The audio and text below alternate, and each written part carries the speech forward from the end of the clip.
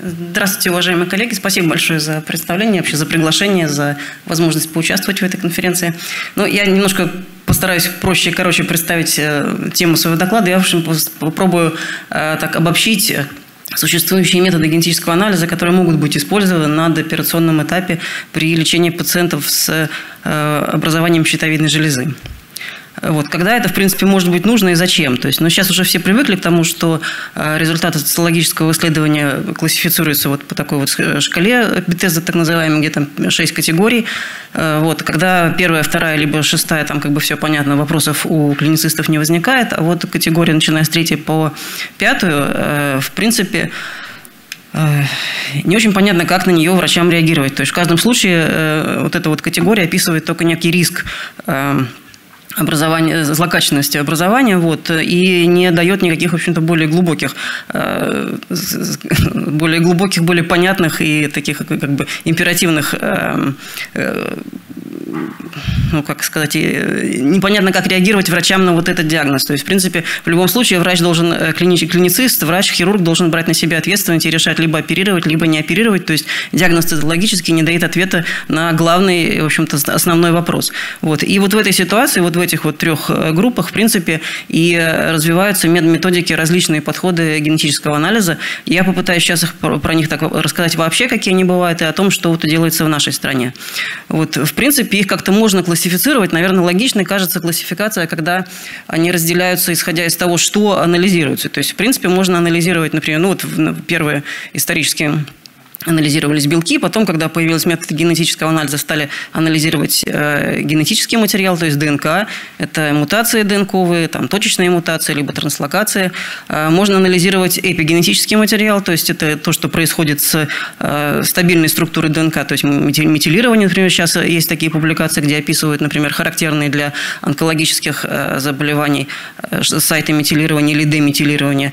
Э, можно описывать, например, какие-то экспрессионные нарушения э, в разделе информационных молекул, информационной э, РНК, либо длинных некодирующих, либо малых кодирующих РНК, так называемых микро-РНК. Вот. Но, как показала практика, в принципе, такая классификация немножко путает ситуацию. И вот тут пару лет назад была статья наших коллег из Бразилии, и они предложили классифицировать все методы на основе технологии, которая лежит в основе анализа. Ну, мне показалось, что, в принципе, это, наверное, логично. Вот. И в таком случае, в принципе, вся история разделяется на э, несколько потоков. То есть сначала, как я упомянула, иммуногистохимия была, она так канула в лето, сейчас она, в общем-то, особо не используется. И потом, когда появилась ПЦР, то первые методы были основаны на э, ПЦР. Э, дальше появилось секвенирование и технология чип, так называемый чип анализов. И, в принципе, можно все разделить вот на эти вот три, три группы. Если говорить про ПЦР-диагностику, то есть первые Исследования на эту тему появились более чем 10 лет тому назад. Это вот э, ученый из Минска, по-моему, сейчас он возглавляет вот эту область э, исследований в Америке, Никифоров Юрий. Вот. Он описал несколько генетических э, дефектов, мутаций. Вот в нескольких генов они в первой строчке перечислены. Это либо точечные мутации, либо два, втор, два вторые варианты – это транслокации генетические. И, в общем-то, они довольно характерны для э, существенной части э, заболеваний щитовидной железы. И на основании вот этих вот Э, генетических дефектов, были сделаны э, методики, которые с помощью ПЦР их детектировали, и появилась первая так называемая 7-gene панель, то есть когда при Ну, основным ПЦР методики анализировать вот эти вот семь э, дефектов генетических, это помогало как-то достаточно э, хорошо, э, в большом количестве случаев помогало выставить правильный диагноз. Вот, и недавно закончились исследования клинические, вот, которые на большой когорте пациентов показали, собственно, показать, ну, выявили показатели диагностической значимости этой методики, вот они перед вами. Вот, вы видите, что они, в общем-то, достаточно высоки.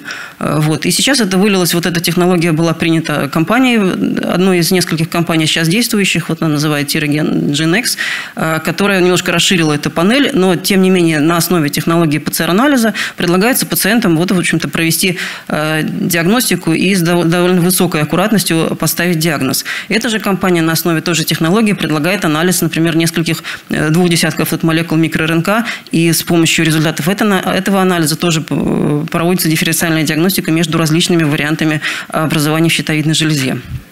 Вот. Но где-то примерно в то же время вышла на рынок вот технология так называемая NGS, Next Generation Sequencing, и вот Юрий Никифоров быстро переключился на эту технологию, и на, его, на ее основе было сделано несколько генераций вот так называемых тиросек панелей, Э, она прогрессировала, и прогресс, в общем-то, выражался вот в одном. Они нарабатывали, нарабатывали информацию о каких-то новых мутационных изменениях и включали в следующую генерацию. То есть, вы видите, первая была те же 7 генов, потом их 13, потом 56, и вот недавно последняя буквально это э, Террасек э, версия третья, тут у меня ошибка, третья версия.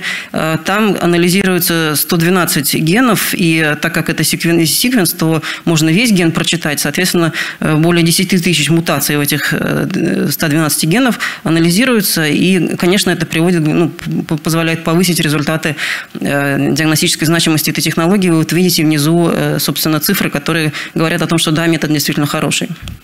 Это один вариант. И третий вариант, основанный на так называемом э, технологии ДНК-чипов или Erase, как их называют. Там, ну, я не буду углубляться в технологические аспекты, но смысл в том, что первая попытка использовать этот метод была э, основана на анализе экспрессионной активности ткани. То есть оценивалось э, некий экспрессионный профиль, и в этот экспрессионный профиль 167 генов, это довольно большая панель. Вот, и на основании вот анализа активности экспрессии вот этих вот 167 генов также проводилась э, диф-диагностика между злокачественными и доброкачественными образованиями. Вот, несколько уступают показатели диагностической значимости этой технологии, уступали э, той, о которой я говорила до этого, но, в принципе, тоже они были довольно интересны. Вот. И э, в какой-то момент эта компания перешла с технологии RACE на технологию секвенирования. Там с помощью секвенирования можно анализировать как ДНК, так и МРНК, проведя реакцию обратной транскрипции и переведя ДНК в РНК в ДНК. Вот. Они, собственно, это сделали, и таким образом им удалось несколько подтянуть некоторые показатели, в частности, вот чувствительность и позитивное предиктивное значение и сейчас они стали, в принципе, вполне сопоставимы с результатами э, тиросека. Э, вот. Но вот, собственно, основная проблема – вот на этом слайде вы видите э, стоимость этих исследований. Э, тут их три, четвертая сейчас как-то она ушла с рынка, но тем не менее, так для общей характеристики я их оставил. То есть вы видите, что стоимость этого исследования колеблется от 3 там, до 5 тысяч долларов. То есть тут можно как бы говорить про там, развитые или страны недоразвитые, но я, думаю, что не в, в, даже в развитых странах среднестатистический пациент не будет готов заплатить такую стоимость за некий дополнительный метод, который может быть использован, а может быть не использован. Вот они не покрываются э, страховками или покрываются какие-то проценты проценты. То есть это надо, человек должен платить. Э, и, естественно, из этого следует вывод, чтобы этот метод стал, в общем-то, где-то применим в клинике, он действительно, он должен, естественно, стоить не так. Надо как-то его удешевлять и оптимизировать.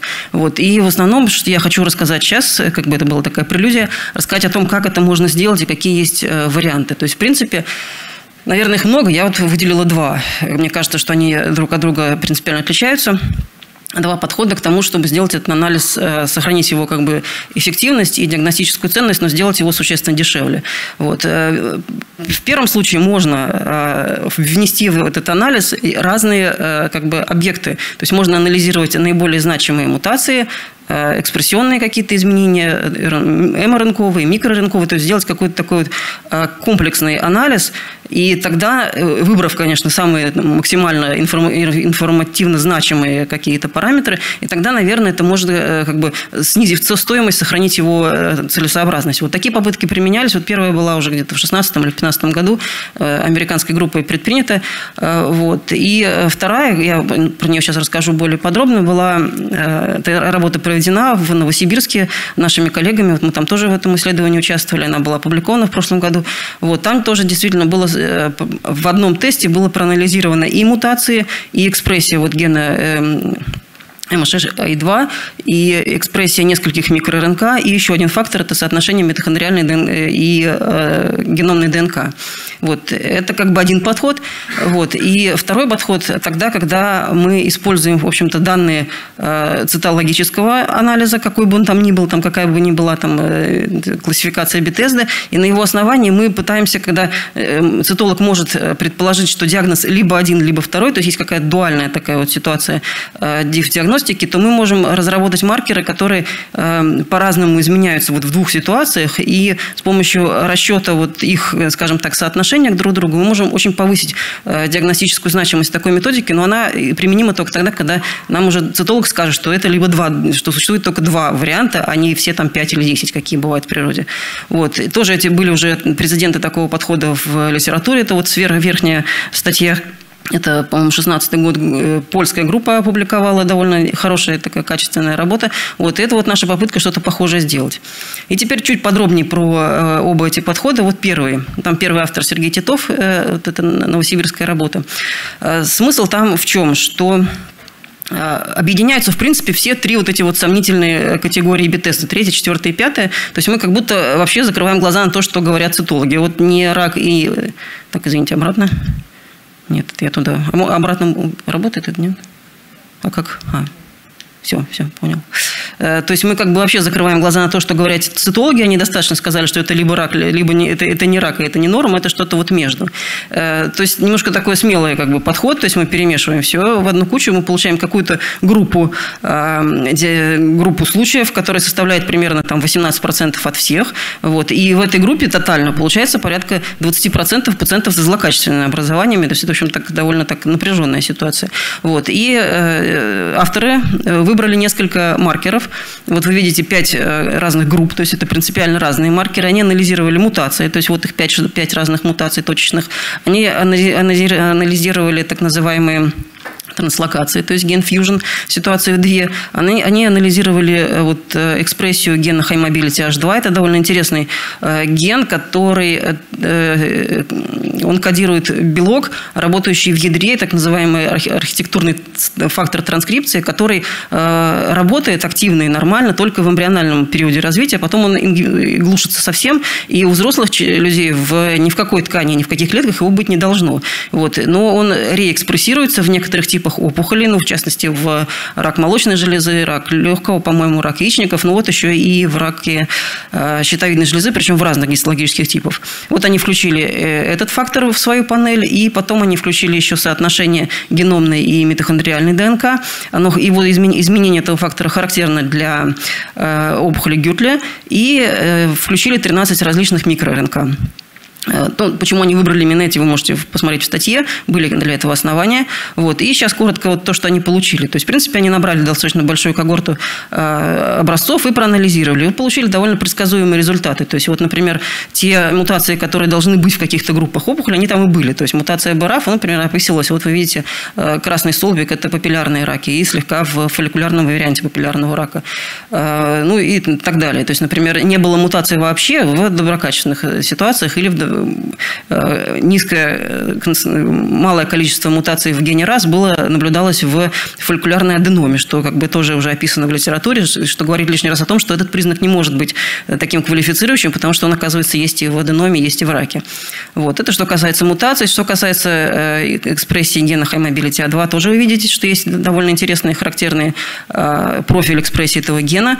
Далее они посмотрели вот это вот соотношение митохондриальной ядерной ДНК, и, как я сказала, оно характерно именно для одного типа э, образований. Э, дальше они проверили, вот, как экспрессируются вот эти вот 13 э, молекул. Я все не показывала, потому что это, в общем, опубликованные данные, вы можете всегда посмотреть их сами. Ну вот вы видите, что есть некие особенности профиля некоторых микроРНК, которые характерны для определенных типов, морфологических типов образований в щитовидной железе. Ну вот, в частности, микроРНК 375 активно экспрессируется в медулярных раках, и это может быть каким-то признаком таким квалифицирующим и так далее. Вот они на основе всех этих данных создали некий такой алгоритм, э, отвечая на вопросы там да, нет, да, нет несколько раз, вы можете решать, рак это или не рак, и, в общем-то, достаточно, вы видите вот э, цифры, скажем так, э, достоверности, характеризующей достоверность автоанализа, можно решить, в общем, прийти к какому-то диагнозу. Это просто рак, не рак. И там в статье у них описан алгоритм для более, скажем, тонкого анализа, когда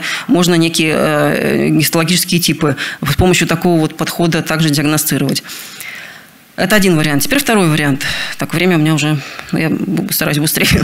Второй вариант. Тогда, когда мы, в принципе, учитываем, что говорят э, цитологи, потому что, э, ну, если это как бы хорошая лаборатория, грамотные цитологи, почему надо исключать то, что они интересно рассказывают? Тогда, тогда, когда цитологи могут уверенно сказать, что вот, например, я просто один пример приведу, что вот, например, мы видим э, в любом, они уверены, что это фолликулярная опухоль. Они там не увидели никаких инклюзий, это не папиллярная, не увидели там клеток Гюртля и так далее. То есть это э, дифференцировать надо только между э, фолликулярной опухолью э, и фолликулярной аденомой. Вот. То есть в данном случае нам надо просто найти признаки, которые, собственно, характеризуют э, инвазивный потенциал этой ткани. Потому что в любом случае мы знаем, что она фолликулярная. Вот. Ну и, и вот подход в этом исследовании был следующий. Мы набрали группы материала от фолликулярного, фолликулярной аденомы, минимально инвазивного фолликулярного рака и широко инвазивного фолликулярного рака, попрофилировали достаточно большую э, э, панель молекул, нашли те молекулы, которые, экспрессия которых изменяется планомерно вот в этой вот группе из трех, из, в, этой, ну, в этих трех группах. То есть мы нашли молекулы, которые, экспрессия которых растет от аденомы к высокоинвазивному раку и обратно. Э, таких молекул было несколько.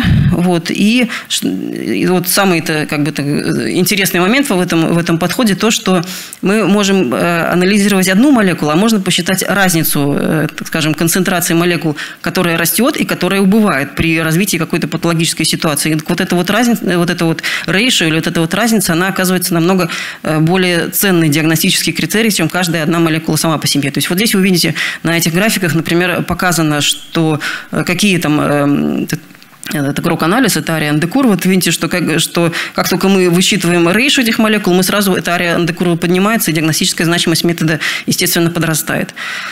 Вот. Можно пойти поглубже и покопаться, понять, почему это именно так. То есть в данном случае, например, мы выделили две молекулы, соотношение которых дает э, достаточно э, весомый э, метод диагностики фолликулярных раков от фолликулярных, диагностики фолликулярных раков от аденом. И есть, мы можем показать, почему это так. То есть есть признаки, если эта молекула растет, то одна молекула, экспрессия ее растет, то есть молекулярные причины, почему это приводит к росту инвазивной способности ткани. И то же самое происходит тогда, когда падает экспрессия второй молекулы. То есть, в принципе, наверное, это какие-то закономерные с точки зрения биологии процессы.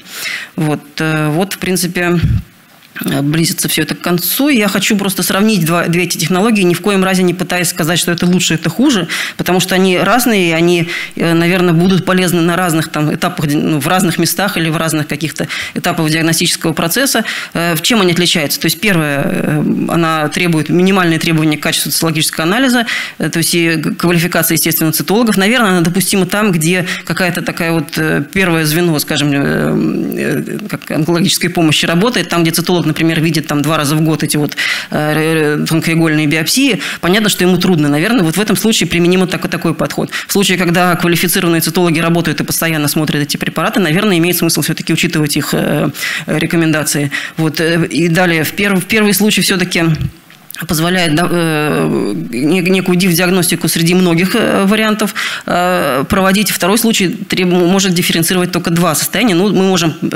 аналогичный подход разработать для того, чтобы дифференцировать какие-то два другие состояния. То есть, в принципе, это не, нет никаких противоречий. Дальше, в принципе, естественно, из общих соображений понятно, что мультифакторный анализ всегда лучше, но он всегда дороже. Вот. В, в, в случае, который вот вторая статья, там анализировался однотипные молекулы, это всегда дешевле. То есть вот это тоже фактор, который важен. А, вот. Ну и что дальше? Дальше, в принципе, все это разрабатывается, это надо оптимизировать, надо зарегистрировать, надо определить какие-то места в структуре диагностического алгоритма э, и включать, собственно, в клинические рекомендации и в систему МС. И вот я хочу просто прорекламировать э, исследование, которое сейчас ведется э, на базе Южноуральского государственного медицинского университета в городе Челябинске. Они получили госзадание, оно финансируется. Вот, они набирают материал, и который анализируется вот в нашем институте в Институте молекулярной клеточной биологии в Новосибирске. И я хочу пригласить всех, кому это интересно, поучаствовать в этом исследовании. И по его результатам, я думаю, что какие-то э, один какой-то там оптимальный, либо несколько разных методов все-таки войдут в нашу клиническую практику и будут использованы клиницистами для того, чтобы делать процесс диагностики легче и правильней.